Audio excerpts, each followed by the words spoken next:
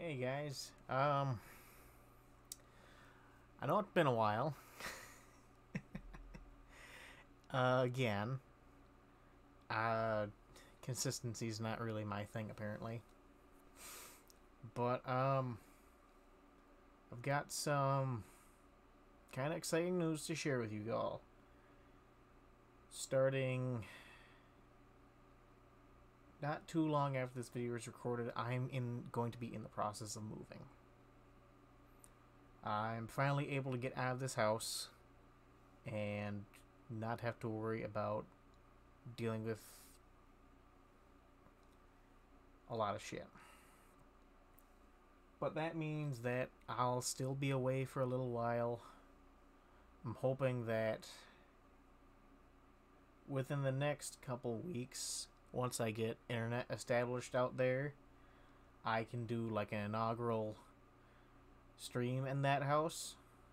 It's a rental, so it won't be my forever home. But this is a very big thing for me right now. And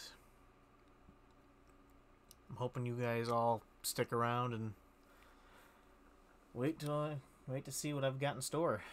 I'm hoping that I can get once I'm once I'm able to get into this place.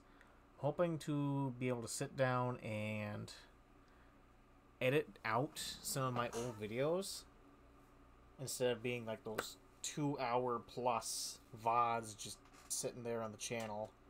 I cut out all the boring shit and I just leave the main gist of the episode. I'm hoping to cut them down to like the 20 minute segments. And yeah, that's kind of the first idea. I'm I'm to leave this all fucking in. I don't care at this point. I I just want to get something out there for you guys so you know I'm not dead. Um, once we get everything established, I want to make an actual schedule where I stream once, maybe twice a week, just to fuck around and do some fun shit finally. Maybe I can actually become expressive rather than just sitting here with this boring ass face.